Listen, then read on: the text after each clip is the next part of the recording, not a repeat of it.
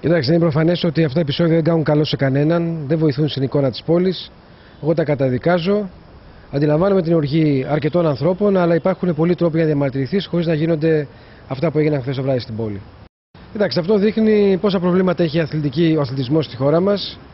Δείχνει ότι ε, δεν υπάρχει μια ενιαία, αν θέλετε, ε, γραμμή με την οποία να αξιολογήσει τις ομάδες, τις ΠαΕ πρακτικά προβληματίζει τους πολίτες, τους δημιουργεί την εντύπωση ότι όλα αυτά τα συστήματα είναι ευέλικτα και ευάλωτα σε πιέσεις πολιτικές και άλλης μορφής.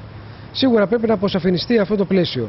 Τώρα, σε ό,τι αφορά στον Ολυμπιακό, η απόφαση της Δευτεροβάθμιας Επιτροπής ήταν μια αυστηρή απόφαση για τους μείον 10 βαθμούς. Ε, είναι μια απόφαση όμως που θα την πάλευε στο γήπεδο Ολυμπιακός Βόλου. Η απόφαση που έκυψε τώρα χτες, δηλαδή ενώ χτες στην Επιτροπή Επαγγελματικού Αθλητισμού, αφορά άλλο πράγμα αφορά τη μετοχική σύνδεση του Ολυμπιακού Βόλου που έπρεπε να αλλάξει, δεν είχε αλλάξει μέχρι στιγμής και έτσι θεώρησε η Επιτροπή ότι έπρεπε να τιμωρήσει τον Ολυμπιακό. Κατά την άποψή μου, έπρεπε να δώσει το περιθώριο στον Ολυμπιακό μια διορία για να κάνει τις αλλαγές, να τον ενημερώσει ότι πρέπει να γίνουν αυτές οι αλλαγές, γιατί έτσι τιμωρείται για παραβατικές συμπεριφορές παραγόντων το σωματείο.